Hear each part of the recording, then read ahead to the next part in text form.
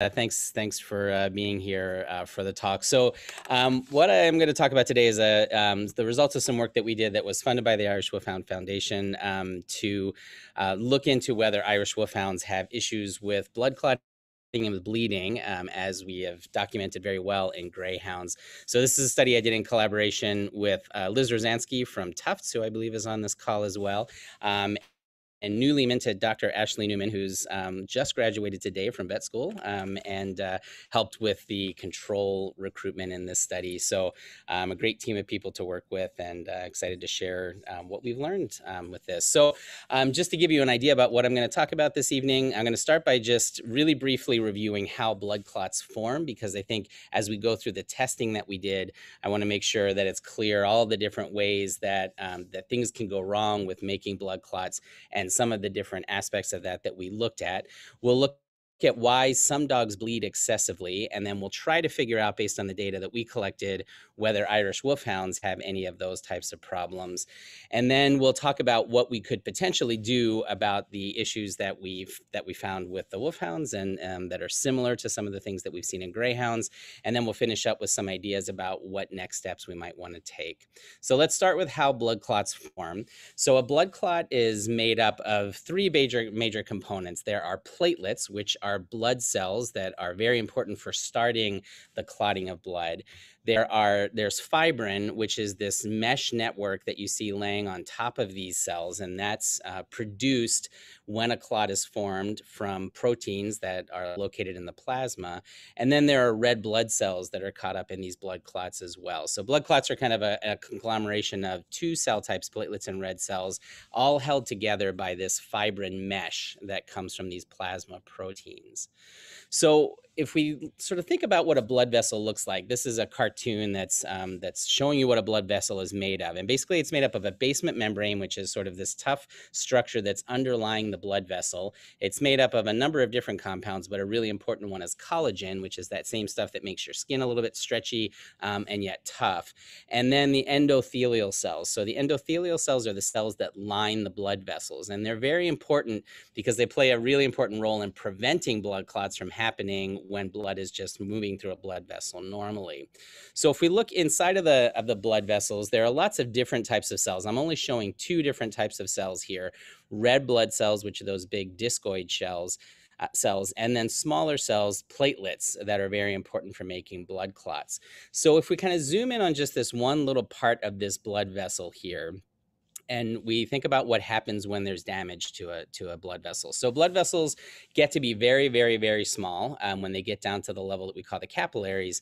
They're just a single cell layer thick, sitting on top of this basement membrane. So they're very fragile, and pretty much every day you're going to disrupt some of these blood vessels um, just by bumping your yourself around. Um, any kind of trauma that's happening, you're going to get some disruption of blood vessels, and it's very important that you be able to make blood clots to prevent loss of blood certainly um, when we have major trauma like surgery or some sort of other traumatic event, we can have disruption of larger blood vessels, and the same basic process will happen there.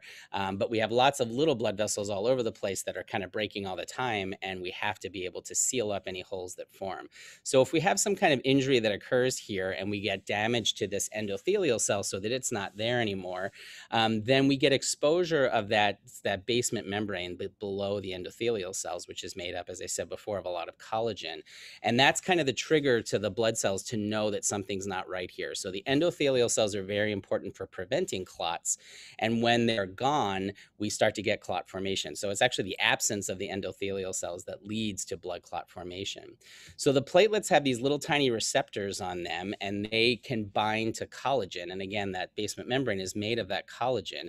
And so when that endothelial cell is gone, then the platelet can bind to the collagen, and that causes the platelet to become activated. It changes shape from this little discoid cell into this um, cell that's got a lot of projections coming off of it, and it's this is the beginning of a clot forming. So then, once that platelet is activated because it has bound to this collagen um, underneath the endothelial cell, it starts to release substances that activate other platelets in the in the blood that are just sort of floating around in an inactive state. And we get this formation of this group of activated platelets that make an initial little plug that plugs up the hole that was formed by the loss of that endothelial cell. And we also will start to get red blood cells that'll get intermixed with that as well. So we get this little plug, and this plug is is going to be um, the start of a clot, but it's not very rigid yet. It really is is a very very um, we call it a platelet plug plug um, and it's kind of a gelatinous thing. It's not very solid and it's not going to be able to actually seal up this hole. And so in order for this to become a more solid clot, we have to bring in um, these coagulation proteins. So coagulation proteins are mostly made in the liver and they float around in the plasma in an inactive state. So they're all over the place in the blood supply. But when this platelet um, uh, plug forms and the platelets are activated, they'll cause the coagulation proteins to become activated as well. And those coagulation proteins ultimately make fibrin um, through what we call the coagulation cascade. So it's a whole cascade of, of reactions that happen with a bunch of different proteins. The specifics aren't that important, but the end result of that is going to be this fibrin mesh that, that uh, makes this network over the top of the platelet plug. And that's what makes a solid clot. So that that's how we plug the hole. Now, once that that endothelial layer starts to heal and we start to get to the point where we don't need that clot anymore, um, we'll start to break it down. And that happens pretty quickly after the clot forms. And if you think about it, that makes sense because if you're making clots all over your body, that's not a good thing. So we want to make sure that the clots are there for as long as they need to be, but that they get broken down as soon as we can um, once things heal up a little better. And that's done via um, a different mechanism we call fibrinolysis. So once we have this stable clot in place, we're going to start to get activation of uh, these these little um, guys that are floating around in the plasma as well. These are called plasminogen, um, and what they what happens with them is when you have these injured endothelial cells, um, and you also have platelets around that are activated, they'll activate this this compound and make it into something we call plasmin. And plasmin, I made him look like a Pac-Man because his job is to chew up the clot, to break the clot down. And ultimately, that's how we clear clots out of the system. so we have this process that's pretty complex that I've kind of simplified as, as much as I can, where we have platelets who come onto the scene first. They're floating around in the, in the blood. When there's damage to the endothelium, they get activated. Um, they make that initial platelet plug by mixing up with red blood cells. And then we get activation of this coagulation cascade that causes a fibrin mesh to be laid down. And then pretty much as soon as that happens, we start to work towards breaking down that clot, preventing it from getting too big by activating this substance called plasmin that's going to break the clot down. So that's all what happens normally um, in any, any animal that is starting to make clots. Um, we make the clot and then we break it down. So that's how that's the basics of how clots form and how they break down. So then the question is why what when when this goes awry, why might that cause a patient to bleed more than we would expect? Um, so why do some dogs bleed excessively? And it turns out this is not such a simple question to answer because as you saw, the formation of a clot is a pretty complex thing. And if we have something that goes wrong with pretty much any of those steps, we could wind up with a with a dog who bleeds more than we would expect from any kind of even simple traumatic injury. So I really think about breaking this down into sort of three categories. We can either have a problem with the platelets, so they're the ones that initiate the clot. We could have a problem with the coagulation cascade, which is what gives us that fibrin mesh that stabilizes the clot. Or we could have a problem with clot breakdown with fibrinolysis, where we're excessively breaking down clots too quickly um, and so patients can bleed because of that because as i said all the time we're having little injuries to the to those endothelial cells um, so we're making clots and breaking them down all the time and if we don't have if we're breaking them down too quickly we can get into trouble Okay, so let's talk first about platelets. What could go wrong with platelets that could make a patient bleed? Well, we could have a case where we just don't have enough of them. Um, so either we've used them all up for something, or we have cases where dogs just don't make enough platelets, um, or we have cases where the platelets get destroyed by the immune system. So lots of different ways we could have not enough platelets. And this is a pretty easy thing to diagnose. Um, so this is what we call a blood smear. So all we did was we took a drop of blood and we put it on a slide and we looked at it under the microscope. These red discoid um, circles here are red blood cells. And then these little purple guys are the platelets. And so you can pick them out really easily easily on a blood smear. So this is a patient with a pretty normal number of platelets. This is a patient who's got an issue. There aren't really any platelets here. So this is a patient who has not enough platelets. So really quickly, just with a drop of blood in a microscope, we can make this diagnosis about, um, about whether they have enough platelets. The thing that's not quite as easy to diagnose is if those platelets aren't working properly. Um, and so there are a number of different different reasons that platelets might not work well. It may be that the substances that normally activate them aren't present in the patient, or it may be that there's just a primary problem with the platelets where they can't work. There are some drugs that can inhibit platelet function. And this is just a photograph of a um, of a Doberman um, who has von Willebrand's disease. So von Willebrand factor is a very important factor for um, allowing platelets to do their job jobs um, and has to be there in order for them to be activated normally. And one of the common things we see in these guys is spontaneous nosebleeds, where they just bleed spontaneously from the nose, even just with a little bit of trauma, um, because they don't have enough von Willebrand factors. And this is a little bit harder for us to diagnose. There are some simple tests that we can do to get a gross idea about platelet function, um, but really getting into the nitty gritty of whether platelets are working can require some pretty specific tests. And it's difficult to do those tests because platelets are very persnickety. And once you take them out of the body, they pretty quickly stop working normally. Um, and so when you go to try to test their function, it can be very difficult. You have to get that sample to a lab very quickly. Uh, they have to have special equipment that allows them to actually assess the function of the platelets. So um, there, it's not an easy thing to test. Um, it's much easier to tell whether there are enough of them, but actually figuring out their function can be harder. We can also have problems in dogs that are bleeding with the coagulation cascade itself, and that could be because they don't have enough of the normal coagulation factors. So classic um, thing that we see, especially in dogs, is rodenticide, so rat poison. There are certain types of rat poison that cause some of the coagulation factors to get depleted, um, and so they'll wind up bleeding because they don't have those factors and they can't make that fibrin mesh. Patients with liver disease can develop this as well because the liver is what makes most of these coagulation factors. So if they have a problem with the liver, they can't make them. And then we have dogs who have sort of inherited um, hemophiliacs, animals who can't make certain um, coagulation factors um, and can bleed because of that.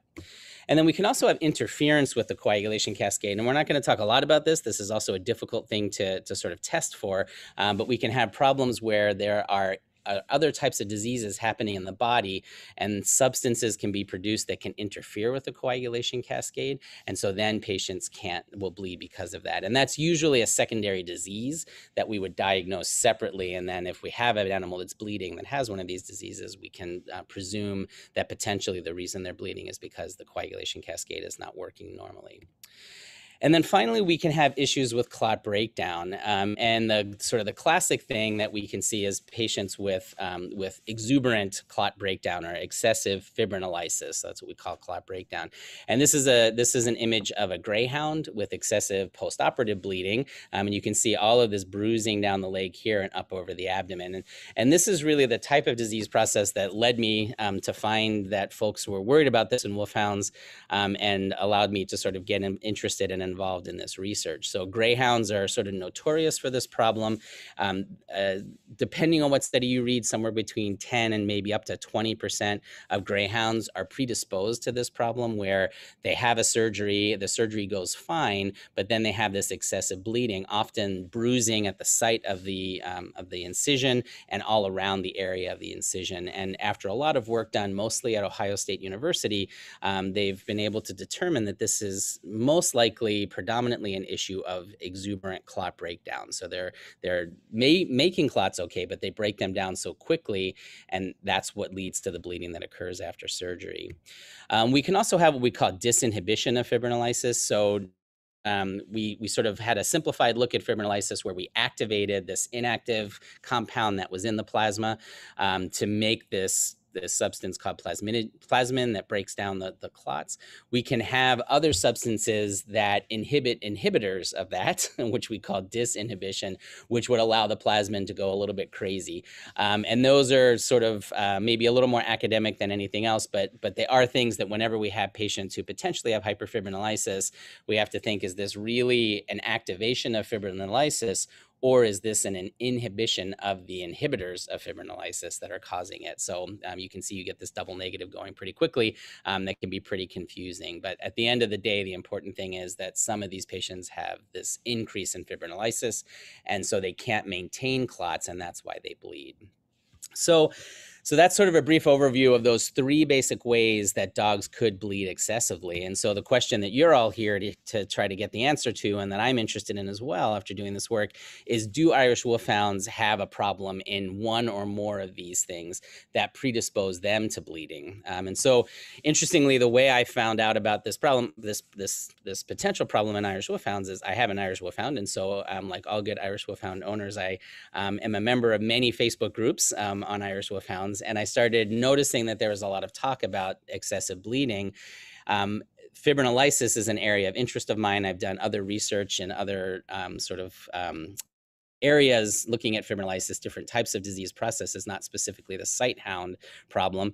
Um, and so sort of my two worlds collided a little bit, my two of my passions, wolfhounds and fibrinolysis. And I got very interested and sort of got involved in some conversations online about this. And that's what ultimately led me to, um, to have this opportunity to do this work. So, so I was really, really interested in whether wolfhounds were like greyhounds um, in that did they have a problem with fibrinolysis or did they have some other issue that we could document with their clotting? And that was the answer we tried to, to, um, to come up with. So we did a study that, um, that uh, involved recruiting dogs at the, um, the Irish Wolfhound Association of New England in 2019, where we recruited 27 Irish Wolfhounds who attended that show who donated blood samples for us. And it was probably the most joyous day I have ever had in my career in research, being able to hang out with a whole lot of Irish Wolfhounds. This is me on that day being very, very happy. Um, and uh, we're, we're very lucky um, after these conversations we had that the Irish Wolfhound Foundation agreed to fund this work to try to answer these questions. Um, and also very grateful to the Irish Wolfhound Association of New England for allowing us to come and collect all these blood samples, as well as I'm um, very grateful to all the Wolfhound owners who um, offered up their Wolfhounds for these uh, these samples. So um, we at this at this uh, this event collected blood from these 27 Irish Irish Wolfhounds.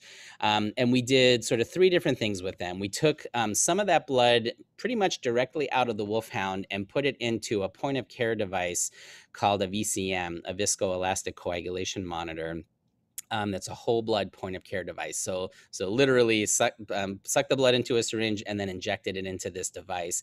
And we ran two different assays with that. Now, this test takes about an hour to run. Um, we had four of the devices, thanks to Liz Rozanski, who brought hers um, from Tufts. And we ran two different assays on each individual dog that we were able to run. So because these took a while to run, we were only able to do this particular test on about half of them, on 14 of the wolfhounds. Um, Um, so this that data we only have on about half of these guys and again this was just logistics of the fact that we were collecting all these samples in one day and the test takes a while to run. But from all 27 we also collected blood for blood cell counts so we could count red cells white cells and very importantly platelets to see what their platelet numbers were. And then we also took some of the blood and sent centrifuged it and then pulled off the plasma, which is the liquid component of the blood, and froze that so that we could do coagulation testing, sort of more standard coagulation testing from those plasma samples. So we did a whole bunch of these different things and i guess this is a good a good time for me to sort of um, make sure that you all understand the challenges of doing testing like this of doing studies of coagulation because as i described at the very beginning of this blood clotting is a very complex process and it involves a lot of different components sort of all working together. And what happens to this blood when it's in the body is likely very different than what happens to the blood after we remove it from the body and put it into analyzers. And so really trying to dig into what is causing problems with bleeding can be difficult because we have to look at all these different components and often we're looking at them in isolation. So the one test that we were able to do using this VCM machine is, is a nice test because it's all it's it's whole blood. We don't modify it at all, and we basically watch it clot. And I'll tell you about how that works in just a minute. Whereas these other tests, sort of the more standard tests that we do to look for how blood clots, we're taking the blood out of the body, we're processing it, we're looking at individual components, and we're sort of teasing out the different parts of that clotting. And putting all those pieces together can be pretty challenging. But we'll talk about what we found and, and what it might mean for wolfhounds. So the first question about whether wolfhounds bleed bleed excessively, um, one of the questions we asked was, well, what about the platelets? So is there an issue with platelet number? Did they not have enough platelets? And this is the data from um, from the study looking at the Irish wolfhounds that we collected um, blood on, and then these control dogs here. So the Irish wolfhounds always being green, the controls in blue. On these plots, the individual dots are each individual dog um, and what their value was. In this case, this is the number of platelets per microliter of, of blood. Um, and then on any charts where you see this yellow background, that's the reference range for the analyzer. So um, this particular analyzer that does the platelet count, this is the reference range um, for dogs. So this is where we'd expect most dogs to fall. And if you look at these two um, graphs, they look pretty similar. Um, the numbers are pretty close. You can see there's this one guy hanging out down here. You can see that a, that a fair number of the wolfhounds and a fair number of the control dogs um, had platelet counts that were a little bit below the reference range.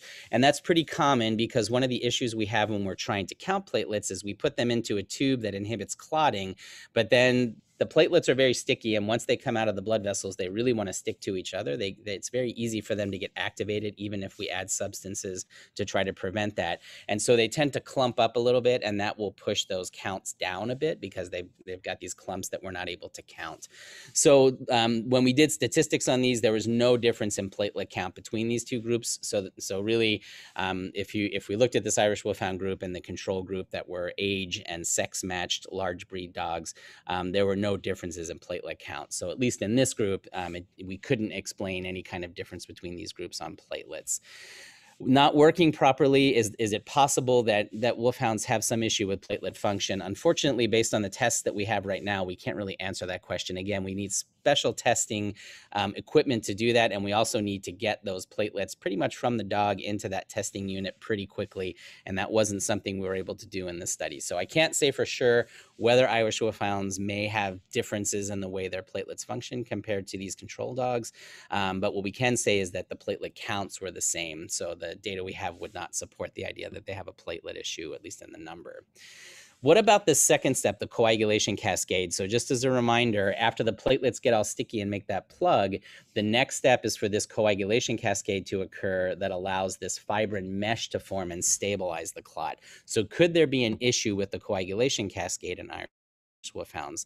So there are some tests that we can do on the plasma that we collected to try to answer that question the standard clotting tests that we run in the clinic are two tests called the PT or the prothrombin time and the APTT or the activated partial thromboplastin time.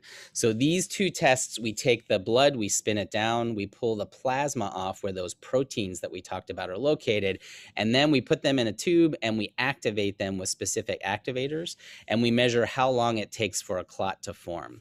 So this these are good tests to tell us about those coagulation proteins, but remember that the important first step of a clot in the body is for the platelets to be involved. And in this case, these tests don't take the platelets out completely. So they sort of factor out any impact of platelets.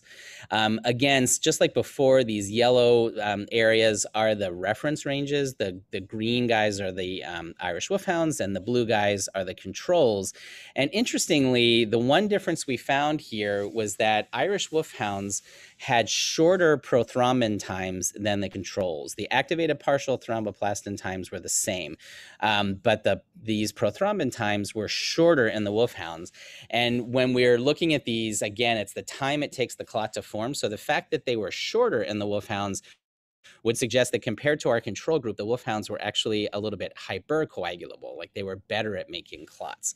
Now, what I think is really interesting to look at here is that, um, or important to look at here, is that almost all of the wolfhounds and almost all of the controls fell within the reference range. So even though there were differences, there was a statistically significant difference between the two, um, they all fell within the reference range. So then the question is, does it matter that there's a difference? Is it just that this group happened to be on the low end in the wolfhound and in the high end and the controls. And um, frankly, we don't know. The other issue is that this test is not really designed to measure hypercoagulability. It's really meant to measure patients who aren't able to clot well. So what we're looking for is for that PT, that time to be long.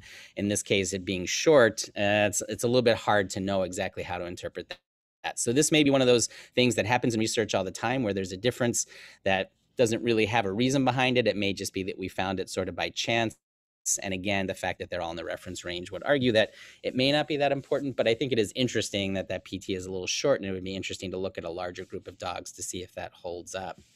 The other thing that we looked at in the plasma is the fibrinogen. So fibrinogen is the compound that the fibrin that goes over the surface of the platelet plug to make the stable clot is made from. Um, and what we did find again is that the Irish Wolfhounds um, had a statistically significantly lower fibrinogen concentration on average than the controls did. Um, and you can see there's definitely some overlap between the groups. Again, each black dot is one individual um, animal, but uh, you know, on, on average, they the wolfhounds were a bit lower than the controls. Again, these numbers were mostly within the reference range, although a few wolfhounds were outside. A few controls were as well, had slightly low fibrinogens. So a low fibrinogen would be something that would potentially predispose them to having weaker clots um, because the fibrinogen, again, is what makes that fibrin mesh. And if there's not enough of it around, you can't make a nice strong clot. So could this be one of the things contributing potentially to this postoperative bleeding that we sometimes see in wolfhounds? Um, hard to know. Again, mostly within the reference range, but but definitely different in the direction that we would expect if this were a problem. Okay, so another way that we can evaluate um, clotting in in uh, using some of the, the testing that we did is to actually look at a global view of that clotting. So ideally, what we'd like to know is is what um, happens in an Irish Wolfhound compared to a control dog in terms of all of these aspects of making a clot the platelets, the coagulation cascade, and then their clot breakdown. So, we really would like to know what exactly is happening when an Irish Wolfhound makes a clot, and is it different than a control dog is? Um, and one way we can do that is using something called viscoelastic testing. So, this is the monitor that we used for this study. It's called the VCM, the viscoelastic coagulation monitor, um, and it's a specifically it's a device that um, is used in humans, but this is also a device that's labeled for dogs and cats. Um, we have reference ranges and all those kinds of things. So it's a really interesting test. Like I said, what we did was we took the blood out of the wolfhounds and we put it directly into this device. So no no anticoagulants, no modification of the blood. It's just the whole blood that we put into the device, and the device basically has two plates of glass, very small plates of glass that the blood blood wicks between. And then those two plates of glass start moving back and forth um, with respect to each other. And what we get from this device is a plot over time of development of clot strength. So initially that blood is liquid and as those two plates of glass move back and forth, we don't really pick up anything on the machine because it's just liquid. Those those plates of glass are moving easily we get this flat line initially. But then once we start to get coagulation happening and we start to get formation of, of a clot in that in that apparatus we start to pick up a little bit of resistance to that movement. And that's that's registered on the device with this tracing that goes up and and reaches ultimately a maximum strength. And then if it goes long enough as the clot starts to break down, we start to get a decrease in strength. So you can see here that initially no strength, then once the clot starts to form, we get an increase in strength. It eventually will reach a maximum. And then once the clot starts to break down, that strength will start to drop off as we start to get fibrinolysis. And this is kind of a standard curve that we would get out of this machine. And we can pull some numbers out of this to try to, to quantify what's happening with the formation of the clot. So one of the things we get from the machine is called the alpha angle, and that's basically drawing a tangent line to this curve as it starts to form, and, um, and it's sort of summarized in this angle. So the steeper that angle is, the faster the clot was forming, and the shallower that angle is, the slower the clot was forming. So that's one of the things we can get out of it. And then in terms of overall strength of this clot, um, the device will report something called the MCF or the mac or the um, maximum clot formation. Um, and uh, this is sort of the maximum strength of this clot. It's as it's as strong as the clot's going to get. It's this biggest um, amplitude here. And then if we let it run long enough, we can potentially get some information about clot breakdown by looking at how much the clot strength drops 30 minutes after the clot was formed and 45 minutes after the clot was formed compared to this maximum strength. So the more fibrinolysis occurs, the higher the or the, the lower the percentage of the strength that's left when we get to 30 minutes and 45 minutes after. So these are the parameters that we're going to look at um, in the in the wolfhounds compared to the to the um, control dogs. So just looking at clot strength again, the alpha angle is telling us how fast the clot forms, and the MCS MCF is the maximum clot firmness, and that's how strong the clot is. So looking at the maximum clot firmness, interestingly, we did see quite a difference between the wolfhounds and the controls here, a very statistically significant difference. And also interestingly, you can see that the Irish wolfhounds, most of them actually were lower than the reference range, whereas most of the control dogs were within the reference range, which is highlighted in yellow here. So it did seem that the wolfhounds had weaker clots um, based on what this device was able to measure. Um, and then when we looked at the alpha angle, you can see again, the alpha angle in the wolfhounds was smaller than the alpha angle in the controls, meaning that the clots were weaker and they formed more slowly. Um, so that's interesting. Um, we we still have to sort of tease out why that's happening, but it does seem um, on this particular assay, at least, that the wolfhounds didn't make clots that were as strong as these age and sex match control dogs did. Um, so um, just to give you an example, I took the median dog in each group. So this would be the dog right in the middle in terms of clot strength just to sort of show you what the tracings looked like at the in the dead center of the pack. Um, and you can see here the wolfhound, um, you can see that the angle is a little less steep and then this maximum clot firmness isn't so great and it actually starts to have a little breakdown here. Whereas the controls, they get stronger and stronger as time goes on. This control never showed any lysis actually, um, but you can see a, a significantly higher strength here. So again, this is the middle of the pack dog in each of the two groups. Um, we certainly had some of the wolfhounds that were much weaker than this, but some that were stronger. Same with the controls. But just to sort of give you an idea about how these differences um, look on an actual tracing. And then when we looked at the fibrinolysis, so this is the breakdown that we can see at the end of the tracing. Um, this is a little bit ch more challenging to interpret. So the reference range for the this this LI30, which is the um, amount of lysis 30 minutes after the clot formed, is very high. So the reference range goes from between 99 and 100%, meaning that um, you only get a decrease in strength of the clot of about 1% in a normal patient. Um, so they, they have very little clot breakdown at 30 minutes. And if you look at the wolfhounds versus the controls, all of the controls were in the reference range. Most of them had no lysis. So 100% means the clot didn't break down at all. You can see that most of the wolfhounds also had no lysis, although there were these three dogs down here that had some lysis at 30 minutes um, and that actually came outside of the reference range. So a little bit interesting, but um, but again, because there's so little lysis in these assays, it's hard to tease them out.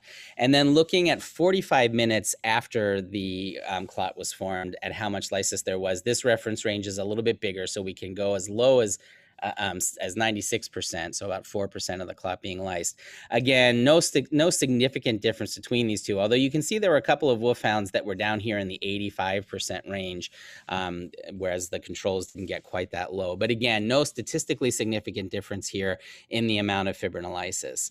So it's interesting um, to note this, but it is, I think, a, a, a, sign of a limitation of this assay in that it's not very sensitive because there's so little clot breakdown that we can get out of the device. So it's sitting in this device, it's only going for an hour, and we get very little lysis.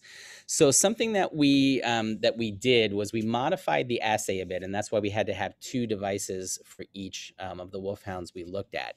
And this is something that's done in human medicine, and we've done some of these same types of assays in veterinary medicine where we take the blood that we're putting into the machine and we add a substance called tissue plasminogen activator or TPA.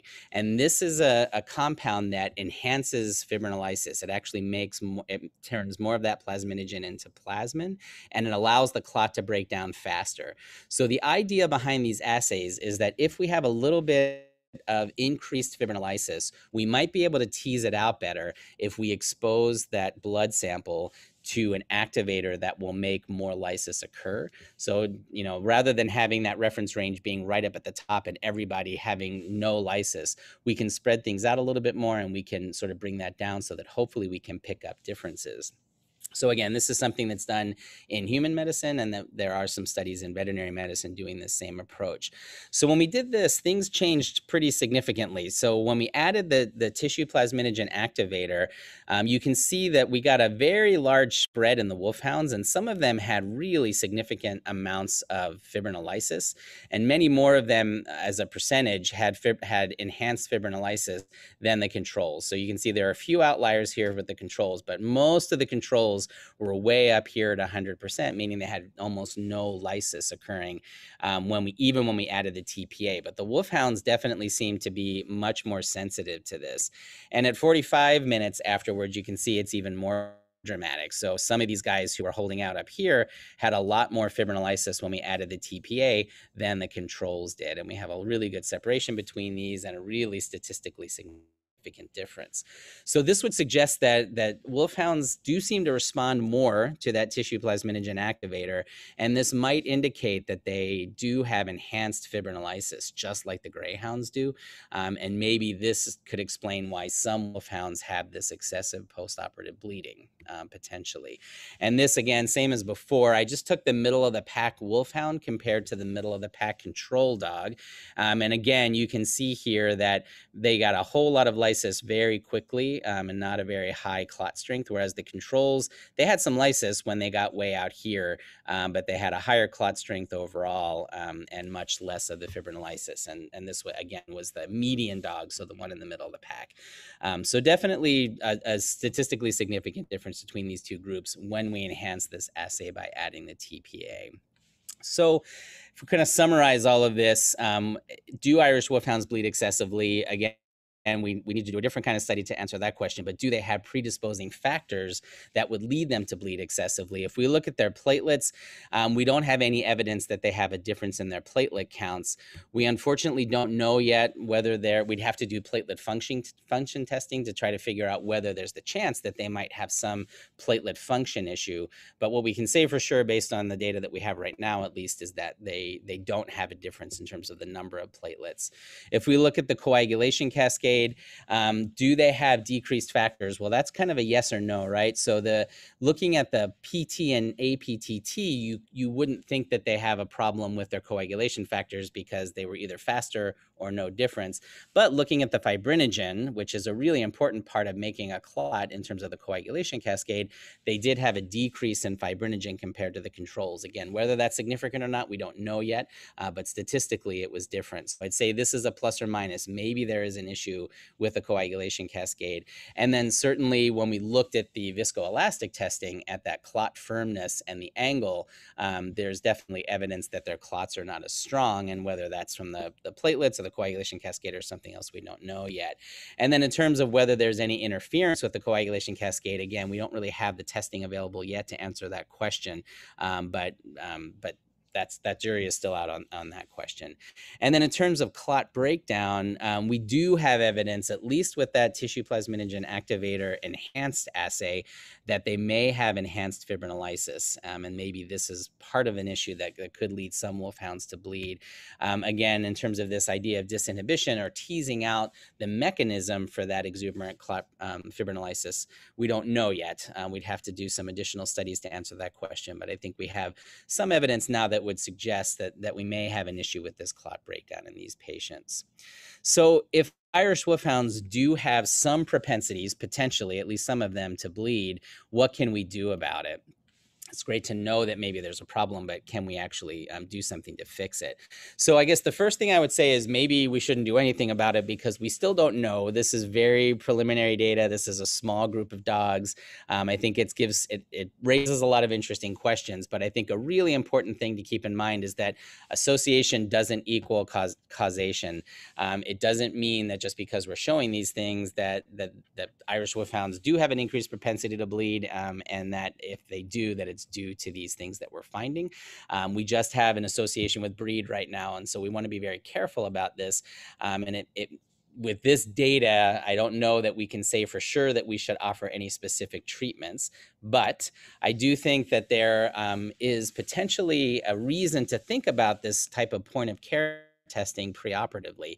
So if a if a wolfhound is going in, or a greyhound, or maybe any sighthound is going in for an elective surgical procedure, you know, could it be that we could get to the point where these types of devices are widely enough available that you could do this type of point of care testing to try to determine whether they might be at risk of increased fibrinolysis or a coagulation issue. And maybe there are patients that we could treat, and we'll talk about how we would do that in a, in a minute.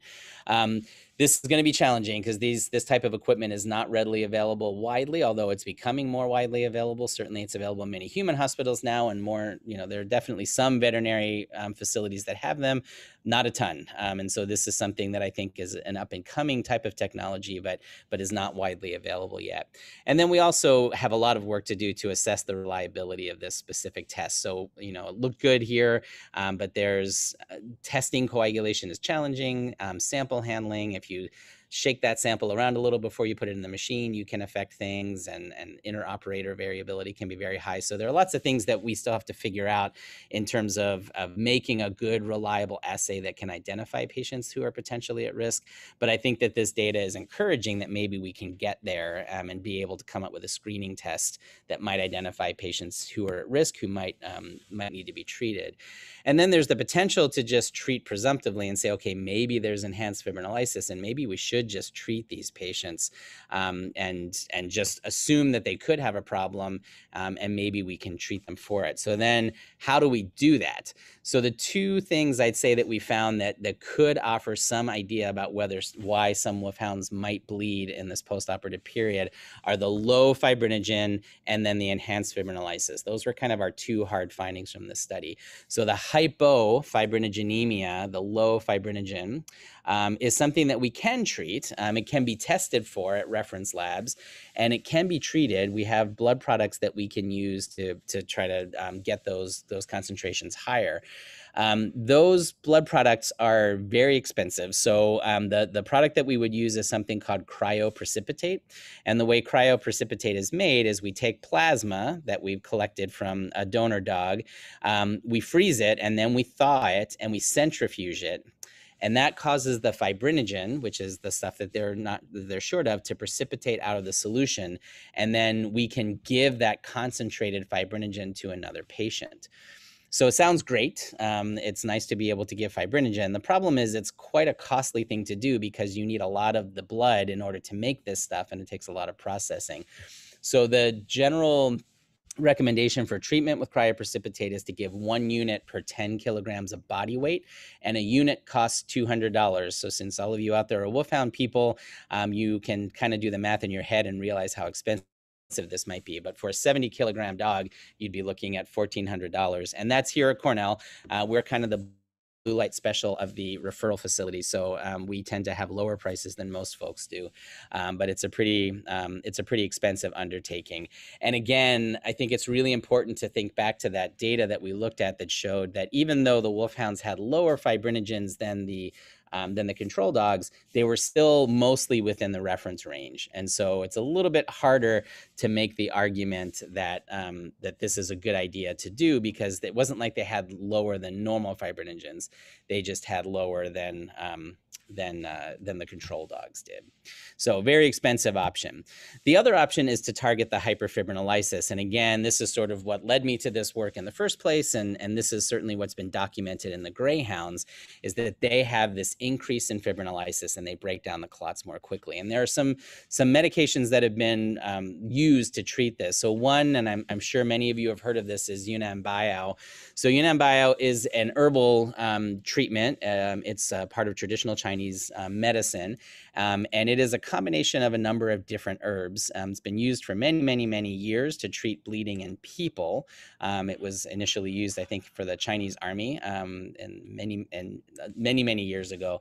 Um, it is an interesting compound. It is not a drug it's an herbal remedy and so um, the controls on it aren't quite as tight as they are for for other drugs.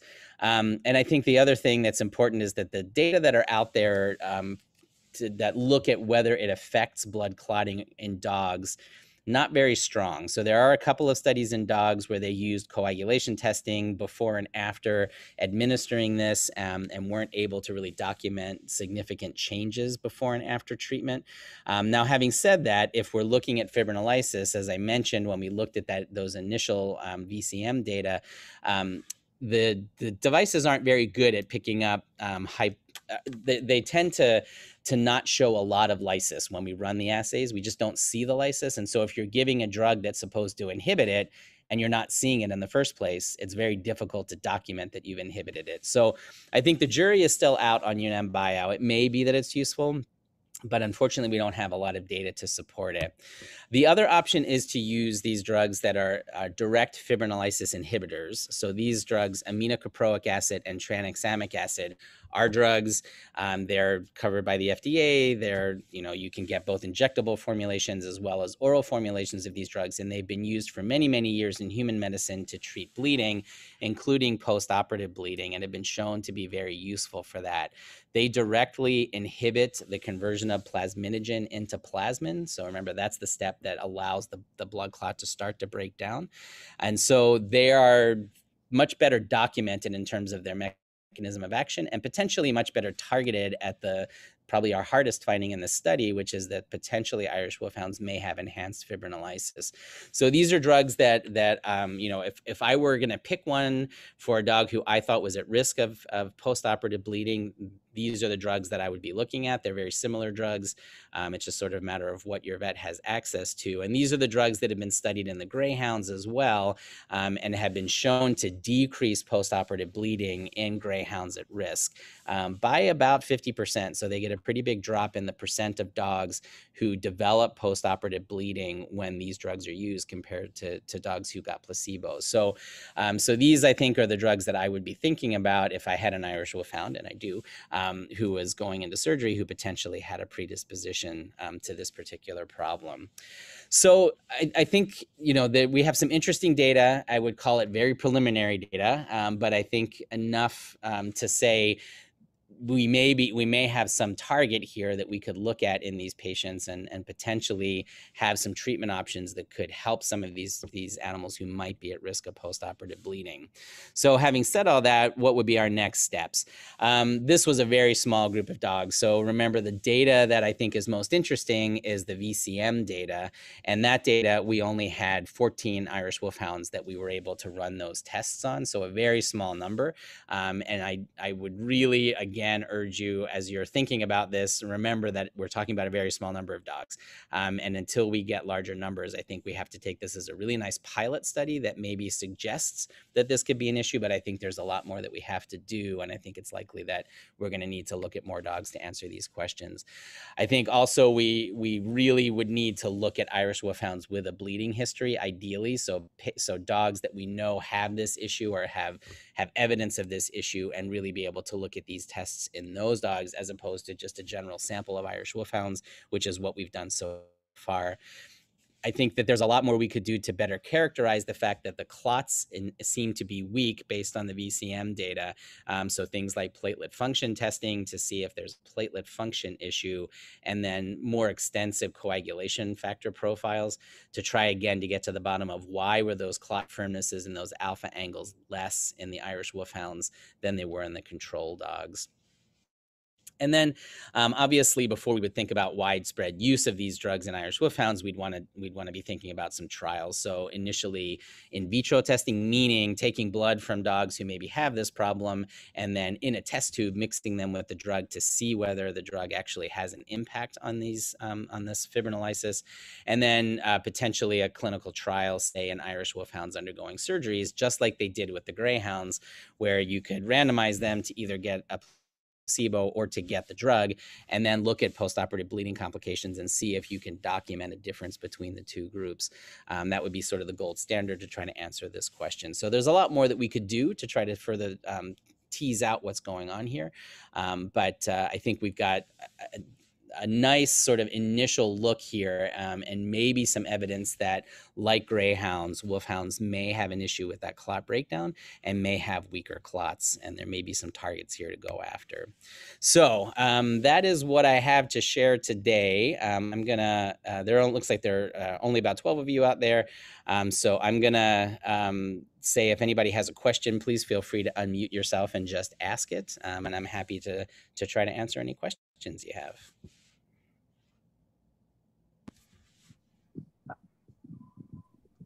Dan, um, Yeah. just a,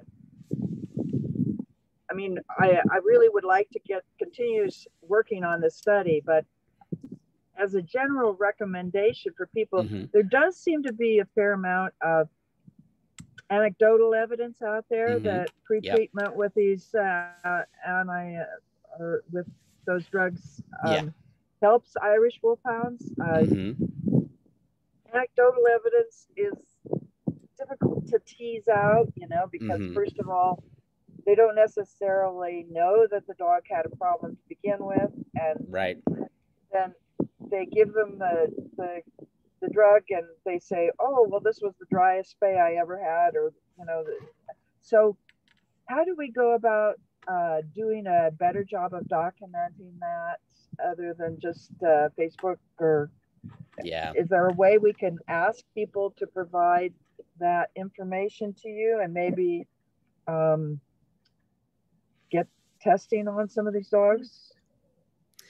yeah, it's a, it's a it's a really good question. So interestingly, those antifibrinolytic drugs um, in people these days, um, they're they're they have sp- some indications where they're just given even if there's not documentation of any kind of of hyperfibrinolysis. So the um, probably the most common one that you'll read about is trauma. So people with significant trauma, there was a large clinical trial done comparing the use of these drugs to not using them in people with trauma who were at risk of bleeding, and they were able to document mortal- a mortality benefit of using the drug. Um, and so now it's sort of become standard of care. Um, and there are some indications in dogs where we do give these drugs, at least some of us give these drugs, um, even when we don't have documented hyperfibrinolysis. So um, the classic would be bleeding into the abdomen. So many of us these days with that, or with very severe trauma in dogs that are bleeding, uh, we do give these drugs now sort of prophylactic, not even prophylactically, but sort of presumptively um, in the hope that they'll help because they seem to have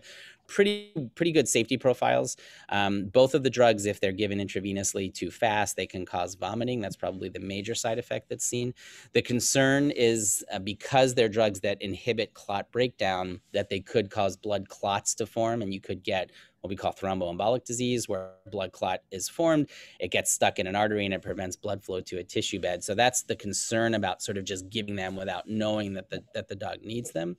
Looking at the literature in, in human medicine, um, it's pretty uncommon um, for that to occur in people who get the drug, uh, but that's the concern. So I think to to I think the drugs are pretty safe. Um, we use them, and they're getting used more and more in veterinary medicine these days for patients who are bleeding. Um, then the question becomes: You have a healthy wolfhound who comes into your practice who's going to have a spay.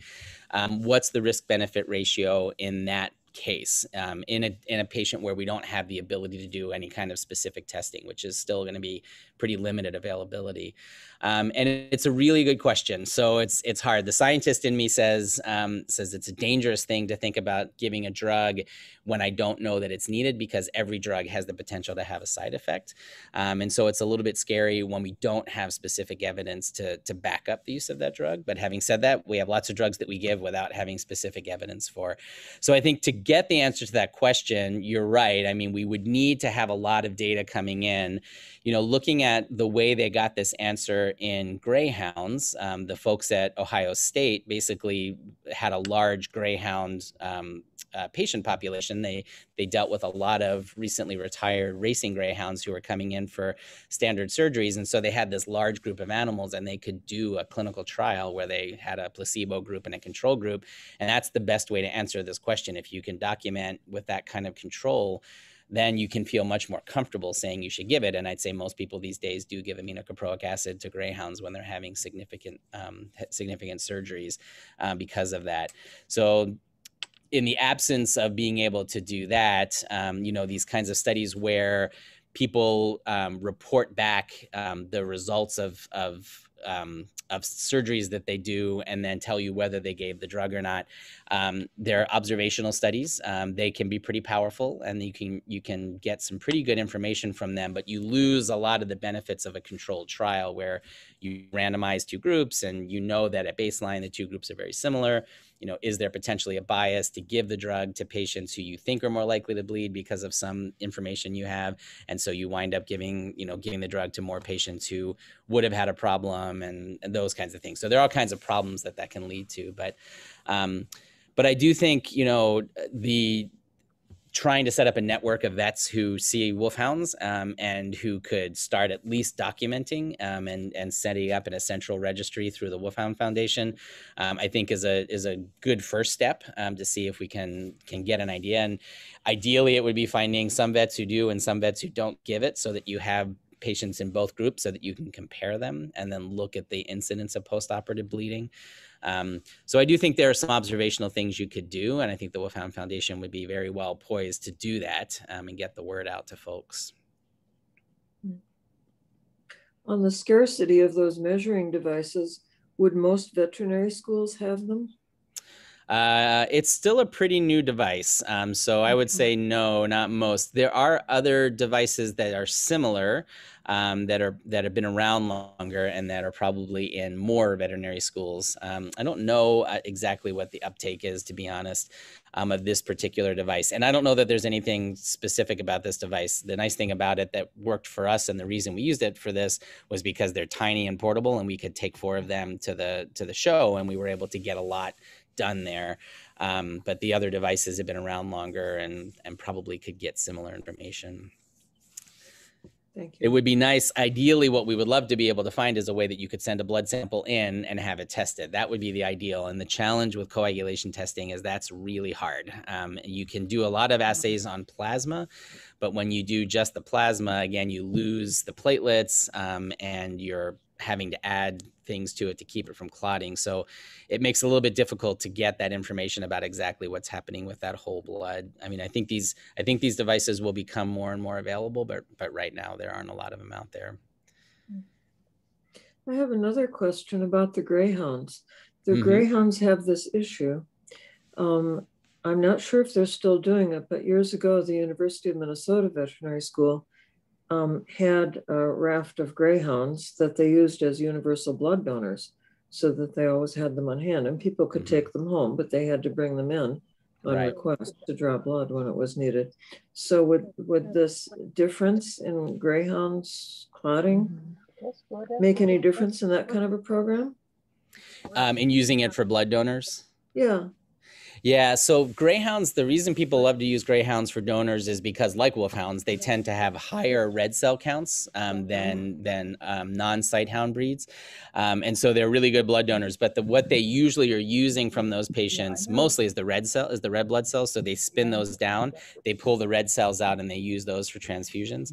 Now they do also use the plasma, um, and uh, that that plasma um, you know nobody knows like this has this has not been investigated about whether there's any reason to think that plasma would not be as effective as plasma from a different breed of dog um, because of this fibrinolysis issue uh, because we really don't know exactly what the mechanism is for the hyperfibrinolysis. Is it coming from something in the plasma? Is it coming from something in the platelets? Is it coming from the actual um, cells in the body? Like we just don't know where it's coming from so um, I don't uh, like. It's one of the really interesting things, and and you know what we found was similar that if you run coagulation testing on these dogs, that it's completely normal. So the wolfhounds had that slightly shorter prothrombin time, but still in the reference range, and they had normal um, partial thromboplastin times. It wasn't until we did the viscoelastic testing that we could sort of tease out. Look, there's some difference here when we put all these components together these clots aren't as strong and they break down more quickly in the wolfhounds than they do in the other dogs.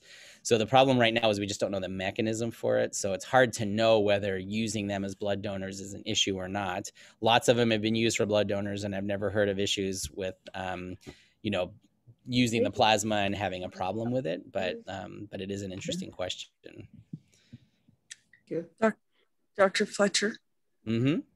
Um, it's Bridget Wondriff. I have a question. It's kind of um, a is something that I've been thinking about for a long time about Yeah. what effects do supplements like turmeric or rose hips do to thinning of the bloods? Because those are two things that come up.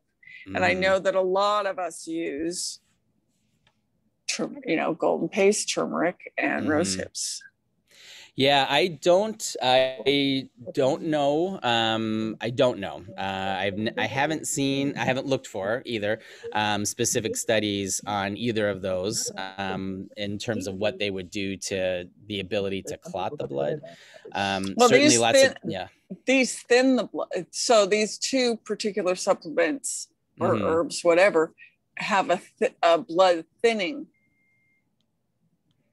Yeah, I mean, when when people use that term blood thinning, that's usually what they mean. That they that they make that less likely to clot. Sort of like when we say aspirin is a blood Mhm. thinner, right? And Right. the reason it, it doesn't actually thin the blood, it just makes it less likely that it's going to clot because it inhibits platelet function. Um, Right. So I have, uh, uh, you know, again, I'm not, I'm definitely not up to up to date on all the any studies that might be out there on on either turmeric or rose rosehip. I don't know if there's something out there where they've, you know, looked at it and using coagulation testing. I haven't seen it, so I I don't honestly know. I think that if they truly do affect either platelet function or um, they affect um, the coagulation cascade, the actual clotting proteins, I guess I would be worried about using them at least around a, a surgical time because any, you know, just like if you if you're on low dose aspirin because you're at risk of heart disease and you go in for a surgery, they have you stop that for a little while before the surgery because it's going to make it less, it's going to make it harder for your blood to clot. Um, so I certainly wouldn't use it around that time, and I guess I would have concerns. You know, again, we don't know the mechanism for for what's going on in the wolfhounds. We just have, you know, we, we're just barely scratching the surface right now, Right, and, and the same is true for the greyhounds. So whether any of these other things would would cause an issue that could compound it, I don't know because I, I don't even know the mechanism of what we're finding right now yet. But I would say anything, there's documentation that those things actually inhibit blood clotting. I would be a little bit nervous um, in dog breeds like these where we think they have an issue with blood clotting. Um, so I, it would just make me a little bit more nervous. Thank you. Yeah, and in, like in people, we take those because people tend to make blood clots, um, and uh, you know we get strokes from that. Um, and uh, dogs, we just don't see that as often. We definitely can, um, especially as they get older. We can sometimes see them have blood clotting problems. Um, dogs, interestingly, are much better at breaking down clots than people are. Um, and that's due to a number of different things. There have been a number of parts, um, a number of different things that have been shown to contribute to that. But, um, but in general, sort of dogs already start off being able to break down clots better than people um, in in the first place, which is probably why we just don't see as much um, of an issue with blood clots forming and causing medical problems in these guys. Um, but it then also sort of, uh, again, thinking about things like blood, that any kind of uh, supplement that would cause blood thinning in any dog, you could potentially make the argument that maybe it's a little bit more of an issue. Um, maybe not something you need that much, and also potentially could contribute to problems given that they're already good at breaking down clots. So, so many questions, so many things that are different from um, from dogs to people.